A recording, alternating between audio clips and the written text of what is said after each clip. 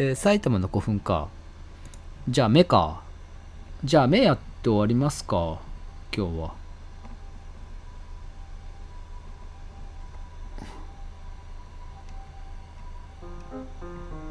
目がね、一番話しにくいのよね。あの目ってね、なんかね、すっげえ時間かかるんですよね。目って俺ね、あの目目についてのテキスト書いたんだけど、から、あの、なんていうかな、その、考えるっていうか、見るときの方向性は僕の中で一応ついてるんですよ。あれ？ただ、えっとね、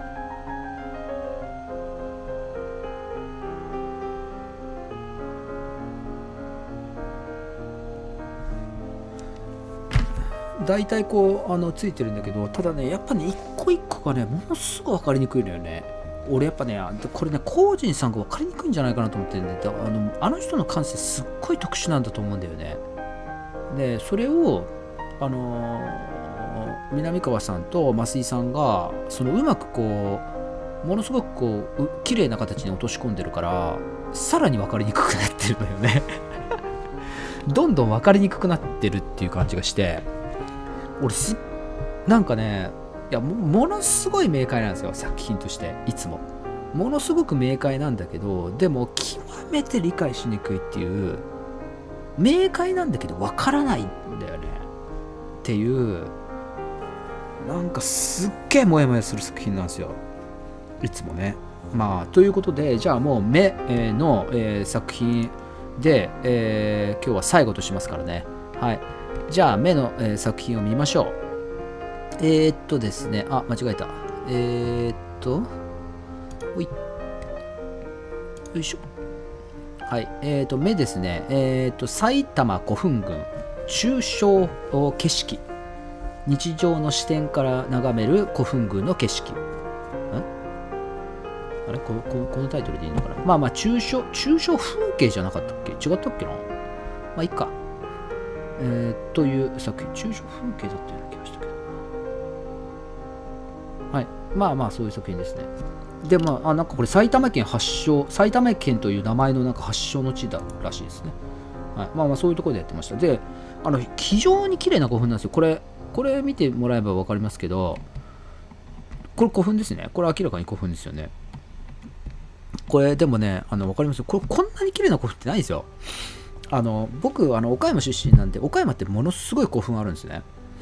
でえっ、と国分寺っていうとこまあちょっとねあの内陸の方に入った方なんですよ。まあまあそ昔はあの海があのかなりあれで岡山ってもう巨大な埋め立て地なんでものすごい ものすごい埋め立ててるんであのかなり内陸までこうあのあったわけですけど海っていうかね浅瀬がねこうあったわけですけどあの、まあ、国分寺ですね。国分寺があるところのにの近くに古墳だらけなんですよ。でえっとあれ僕ちっちゃい頃全部山にしたと思ってましたね。だからちっちゃい山ね。ちっちゃい山がいっぱいあるなーみたいな感じだったんですよ。でえでもねあのこう遠足に行くです。遠足に行くんですよ。小学校の時遠足に行くの。古墳に行くみたいな。でどこに古墳あるの？って思うわけですよ。ただの山なんですよ。ただの山。であのーだから僕の時はねまだねギリギリねなんかねこうあのかけらみたいなの落ちてましたよ。あの何？あの埴輪？のかけらみたいな。そんな感じでしたよ。ねあの造山古墳。造山古墳は造山古墳って登れたっけ？造山古墳も登ったんだろうなきっと。あの多分 4, 4番目に大きいんだったと思うけどまあ山ですよ。山以外の何者でもない。あの入ったらただの山。であのねこんなね芝生じゃないですよ。こんな芝生これもめちゃめちゃ整備されてますよ。ねあのだってあのあれでしょ？仁徳天皇陵だあ仁徳天皇陵って今言わないんだっけ？まあいや仁徳天皇陵とかだってだってまあお堀もねわああそこお堀がすごい大きいからねあの綺麗にされてるけどあの山でしょ？どう考えても。完全に山みたいじゃない？ね森森でしょ？ああいう感じになってるとね。あとあのまあ極端なやつになるとねだからあれ土地誰かの土地になってるんだと思うんだけど円墳みたいなのがポーンとあるわけや田んぼの中にいきなり円墳がポーンとあってるね。あのそういうこともあるしね。あそれはちっちゃいよ。あの半え直径がでもまあ直径でも10メートルはね。78メートルとか。でこうポコーンみたいな感じだってね、うん、でそのなんか上とかでなんか なんか野菜育ててるみたいなね。なそんな感じだけどね。上ではないか。ね上は言い過ぎかもしれない。真横で野菜育ててるみたいな。そんな感じなんですけどね。だからまあ埼玉古墳群ってどのぐらいあるのかちょっとよくわかんない。ただねあのやっぱあのこう川が走ってたらしいね。あのそのえー、っと 南川さん言ってたけど。でかつあんまり大きくないんだけどあの南川さんが言っててすごい面白かったのはねなるほどなと思ったけどね。いやこの辺めちゃくちゃ平らでしょっつってめちゃくちゃ平らだからここ多分この古墳めちゃくちゃ目立ったと思うんですよっつって確かにそうだなと思ったそうかなり高いんですよあの円墳なんだけど相当高い円墳なの一番でかいやつはで、えー、それはまあそうなんだろうなと思いましたね。で、それは結構ね、重要な視点だなと思いました。はい。えー、どんどん行きましょうか。はい。で、えっ、ー、と、古墳群の方をですね、まあ、えっ、と、引きの視点と寄りの視点っていう2個ありまして、で、これね、僕両方見たんですけどね、これ多分ね、えっ、とね、えー、寄りの視点の方なんですね。これ、これ寄りの視点の方は、これに乗って2人だけなんですね。30分に2人しか見れないので、多分全部で、まあ、8時間やったとして2の、え ?8 時間やって4の8だから32、64か。だから、まあ50人ちょっとだと思うんだよ。どんなに頑張っても。そん、まあそんか、そんくらいだと思う。50人くらい。で、だから両方見たら多分50人しかいないわけ。で、なので これよくやったよね、埼玉。あの、埼玉市だったかな。違う市だったかもしれない。ごめんなさい。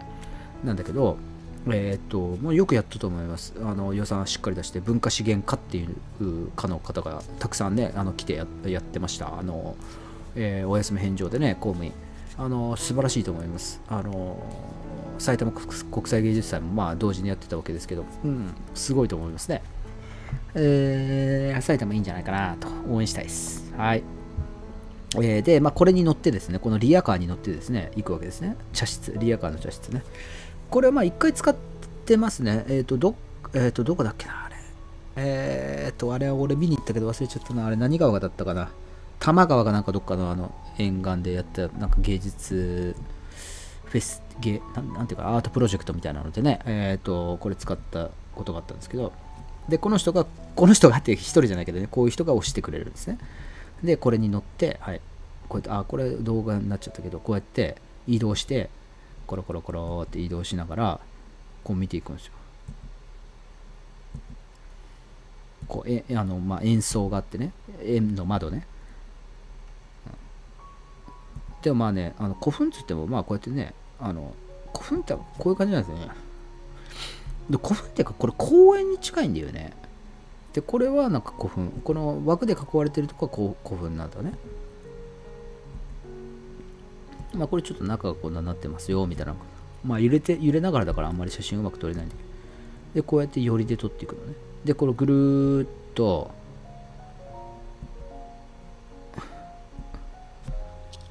ぐるっとこうね、ずーっと押してくれるのよ。これかなりな、結構長いですよ、これ。10分以上。でね、これね、なんかね、なんとも言えない時間が流れるんですよ。あのね、これもね、時間だともなんか歩くのと全然違うんですよ。でも自転車とも違うのよ。うん。そういう時間が流れるんですね。そういう作品。だから違うタイムラインの話ね。あとこれ、まあ、ね、石がいっぱいあったりなんかして。墓石かな。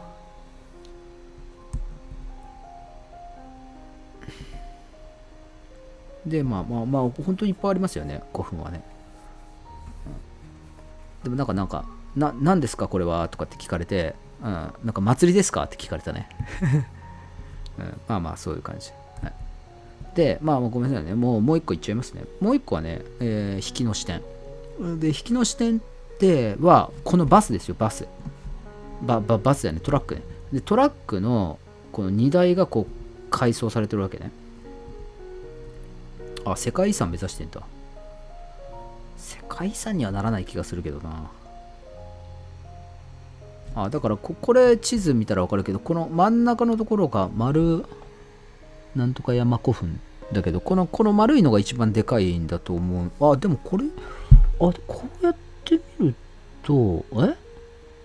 お堀があるのがあんの？双子山古墳。これの方がでかいね。前方後円墳。うん。確かにこれいっぱいありますね。うん。前方後円墳8基円墳1基推定では36基あったがあったが現存すると。日本最大あお円墳として丸墓山古墳は日本最大の円墳なんだ。へえ。なるほどね。最大っていうのかこう直径なのか分かんないけどとにかく高かった。ものすごい高かった。うんうんうんうんうん。はいこれですね。このバスに乗るわけですよ。でこのバスの中ねあの要するにねえー、っと縁側。縁側がまあ両側に縁側があるっていうかな。いうような状況になっててでそれを見ながらガラス張りになってるからね。それ見ながらずっと走ると。こういう感じになってるんですね。でこう。これ南川さん。こういうなんかなんていうのね。本当に昔の懐かしいおばあちゃんちみたいなのがあってこう引きなのよ。これね何にも音とかないのよ。でもうエンジンぐらいブーって。ものすげえ不思議な時間よこれ。だからね僕ね視覚っていうかね見るっていうことの時間性みたいなことについてね。いやだからねであこれ一番初めにね説明されるの。えっとまああのこの目のねメンバーのコージンはコージンさんね。コージンはあただ見てほしいと言っています。っていうことだけ言ってはではどうぞみたいな。では行ってらっしゃいみたいな。ただ見てほしいと言っています。まあそれは見るしかねえわなこれ。もうだって見るしかないんでもうこれ。ずっとぐるぐる回るだけだから。ねこれ。このそれを言わせるっていうのもすげえなと思いましたけどね。ね。こうやって見たらやっぱあの結構高いですよ。ねこれはもう明らかにわざとなんか置いてるけど置かない方がいいよね。ああだからねあ俺あとねこれねあのね引きの視点で見たらね全部古墳に見えてきた。なんか。だから違うタイムラインに入っちゃうんだよね。本当にね。全部ねもうお墓に見えんのよ、なんかぼーっと見てるだけなの。ほ本当にぼーっと見てるだけなのよ。何にも考えれないの。だから俺って僕あのすぐ考えたくなるじゃない？やっぱり当たりまあなんかそういう性分だから。でもねほんと考えれないんだよね。抜かれるのよ。スポーンと。持ってかれちゃうのよ。これかなり遠くから。まあ結構ぐるーっとねこれはねだいぶ長いんですよ。20分以上回るんじゃないかなと思うんだけど。あこれも多分円墳だよね。あこれこれこれ。これが多分あの一番でかい円墳だと思う。でね戻るのかなと思ったら生で。あでこうやって みんな手振ってくれるのよ。何回も回ってるからなんか慣れてこうあまたまた来たみたいな感じで手振ってくれてね、うん、こういうのはね僕はね好き。田舎っぺだから俺。うんうんうん。まあこういう感じでねほんだからねなんで、あのね、これね、だから、古墳を見せるって感じじゃないんだよね。なんかね、回る、ただ回るんだよ。だから、それを回るっていう経験をするっていう感じなんだよね。ただ、やっぱ古墳の磁場はあるんだな。あるんだな。こんなんとかもう、これとか、まあ見たらは、あ、まあやめとこう。ね。こう、なんか全然違う風景に見えてくるとね。うん。埴輪作り体験できるらしいですよ。はい、で、これ帰ってきましたってこうなりましたね。うん。いや、普通はね、帰ってきた瞬間にいろいろ言いたくなるのよ。普通はね。なんだけど、こう全然ね、あのー、違うものが見えてくるんですね。あ、ごめんなさい。全然ね、何も言えないんですね。はい。まあ、あの、中はこうなってます。ね。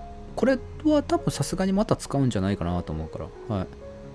これ意外と珍しいですよ、これ。3人揃うっていう写真は。多分意外と珍しいでしょ。ね。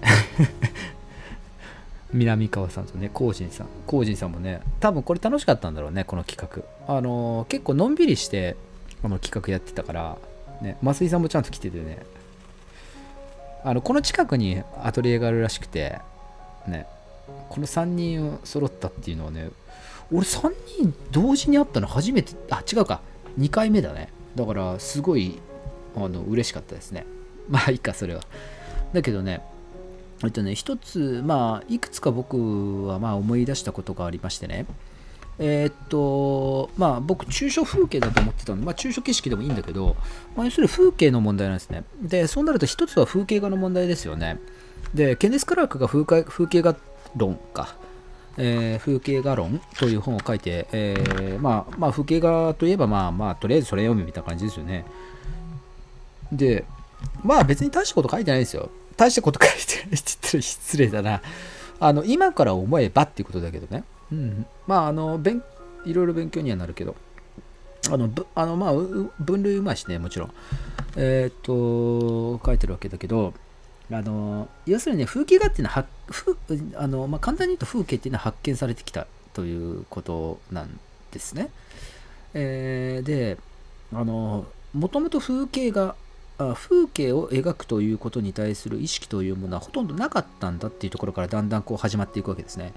でどこから生まれたかっていうことなんですけど、まあ、いろんなあの解釈ができるとは思いますけれども、えーとまあまあ、ケネス・クラーク結構早めにね、えーと設定してますが、えっ、と、あ、でもまあ、そうね、まあ、ちょっと比較的早いと思うけど、でも、でもまあ、あのケネス・クラーク言ったこと、あのね、やっぱりね、旅行するってことですよ。山、山に旅行する。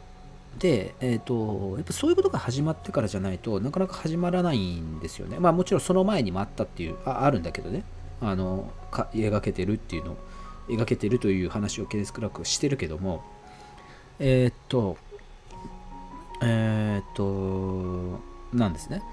だから人が移動するということによって、えー生まれてくる、えーということです。つまり風景というものはですね、もともとあったんじゃないんですよ。というのは極めて重要っていうことね。えーまあ、近代とは言えないけど、近代直前ぐらいなんですけどね、近代ちょっと前ぐらいに発見されたんだということですね。で、えーっと、まあ、これを踏まえたわけでもないんでしょうが、えー、と唐谷唐谷公人が、えー、と近代日本文学の起源の一番初めてを風景論で、始めているわけですね。でその風景というものをどういうふうに捉えているかというと、まあ、これはあの、ね、ラガンの共造段階みたいな感じ、えー、と鏡なんですよ風景が鏡になっててでそれかその風景を描くことによってそれがこう跳ね返ってくるわけですね。で初めて近代的な主体が生まれてくるんだ。こういうあ描きあ、まあ、あの言い方をしているわけです。でえーっとじゃあねあの、まあ、僕はそのことを考えた、えーつまりこの移動するっていうことですよ。旅行するっていうことですよ。を全く旅行とは全く別のね時間を時間軸を作るわけ。タイムラインを作るわけ。ね。でそれによって全く違う風景を生み出す。あるいはその風景を生み出すということはそのまま我々の自我を生み出すっていうことなんだよね。でそういうことを極めて自然体でやるやられるんですよ。あのとてもある意味でものすごく暴力的なんですよというのが僕ら歩けないからもう何も抵抗できないんですよ。あのこれトラックだからシートベルトもしなきゃいけないしね。で、えーそういう状況で回らされるっていう時にそれはねあさっき僕持ってかれるって言ったけどそれ持ってかれるのよやっぱり。というのがもう我々のこう自我みたいなものがもういつもの自我と違うわけ。違うタイムラインの中で現れてくるくる風景ね。にさらされるとこういつもの鏡とは違う鏡に持ってこられるってことだよ。普通に反射しない鏡みたいな。これがあなたですみたいな感じでしょ。そういうものを見せつけられるんだよね。えーだから見てくださいっていうのはあなたが見られてますよってことなんですよ。何を見てるかって言ってやっぱ自分跳ね返って自分見てるね。っていうような状況。ががやっぱりこうを突きつけてくるっていうところがやっぱりまあこの目というチームのすごいところですよね。うん、でそのそれにはやっぱりまあ僕があのその前ね千葉市美の美術千葉市美術館の、うん、目の古典で書いたようなその次元の問題っていうのがおそらく絡んでると思います。あの違う違うこう次元の時間軸のこう操作をしてるんだと思いますね。何か。ただこれはちょっとね、僕もまだね、整理できてなくて、実はね、ケネス・クラーク読み直してるんですよ、それこそ。あんま長い本じゃないですから、皆さんも読んでみてください。あれ、あれ何で手に入るんだろう。僕、美術出版誌、えーなんだっけ、あそこ。美術なんとか。あ岩崎美術社だ。で、のやつしか持ってないけど、風景画論っていうので、多分他もよく出てるんじゃないかと思いますけどね。ああ、でもあの、唐谷さんのはもうあの、普通に手に入りますよ。あの、講談社、講談社文芸文庫でしたっけ？に入ってますよね。に、えっ、と、入ってますね。あの、すごいいい本なんで、ぜひ読んでみたら、ぜひ読んでください。はい。えー、ということでね、えー、目の、えー、中小景色、えー、埼玉古墳群、えー、中小景色、えー日常の視点から眺める古墳群の景色ということでした。はい。ありがとうございました。ということでね、えーこれで終わりになりますので、いいねえーチャンネル登録ね、ぜひお願いいたします。はい。はい。えー、っと、そんなところでしょうか。風景論。はいはい。はい。じゃあまあこんなもんですかね、今日は。もう時間も時間ですからね。